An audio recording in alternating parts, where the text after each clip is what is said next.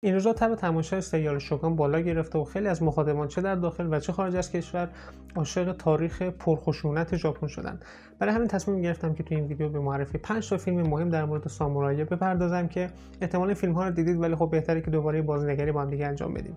پنجمین فیلم لیست ما Silence هست به کارگردانی مارتین اسکورسیزی.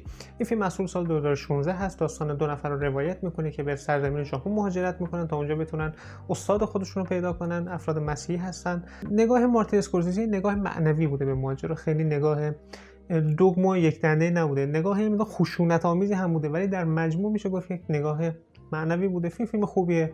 فیلم مدری فوق داره موسیقی فوق داره. بازی های خوبی هم داره. در مجموع میشه گفت فیلم بسیار خوبیه. گزینه چهارم ما فیلم آشوب هست به کارگردانی آکیرا کوروساوا.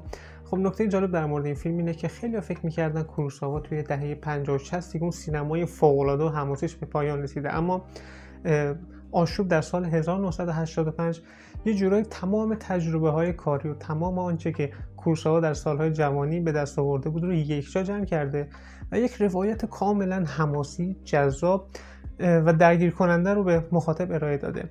آشوب یه جورایی بهترین فیلم کورساوا از نگاه بسیاری از منتقدینه. هرچند من نظر میمونم متفاوته ولی با این حال آشوب کماکان یکی از بهترین فیلم هایی که می‌تونید در مورد سامورایی پیدا کنید. گزینه سوم ما آخرین سامورایی هست محصول سال 2003 احتمالا مشهورترین فیلمیه که غرب در مورد سامورایی ساخته با بازی آقای تام کروز و همین آقای سانادایی که داخل سریال شوار هم بازی می‌کنه در این فیلم حضور داره. این فیلم یه جورایی یک داستان بر اساس شورش سینان رو روایت می‌کنه در قرن 19 هم و فیلم تاثیرگذاری فیلمی که به اخلاقیات می‌پردازه فیلمیه که به شرافت می‌پردازه. یک نگاه فوق العاده داره به مسئله انسانیت و موسیقی زیبایی هم داره که یک کار آقای هانسی مره یکی از بهترین فیلم هایی که قبل در مورد سامورایی ساخته به نظر این فیلم رو احتمالا دیدید ولی اگه ندیدید به نظر حتما ببینید. گزینه بعدی ما هاراکیری است به کارگردانی آقای کوبایاشی محصول سال 1962 هاراکیری یکی از بهترین فیلم هایی که در مورد سامورایی ساخته شده. یک نگاه مدرن تر داره به دنیای سامورایی ها دنیایی که درش خشونت هایی که معمولا در سینمای سامورایی ها می‌بینیم وجود نداره یک نگاه انسانی در داره یک نگاه واقعی تر داره به وضعیت سامورایی که به حال بدون ارباب باقی مونن و کلی نکات فوق العاده داره این فیلم. سکانس های اکشنش فیلم برداری مخصوصا فیلم برداری قشنگ خط کشی شده یه که واقعا از نبوغ کوبایاشی میاد یکی از بهترین فیلم که در مورد سامورایی ساخته شده و شخصا فیلم محبوب من محسوب میشه. و آخرین گزینه ما فیلم هفت سامورایی هست به کارگردانی آکیرا کروساوا. به نظرم بهترین فیلمیه که در تاریخ در مورد سامورایی ساخته شده. مدت زمانش بیش از سه ساعت تماشاش امروز سخته برای تماشاگر امروزی.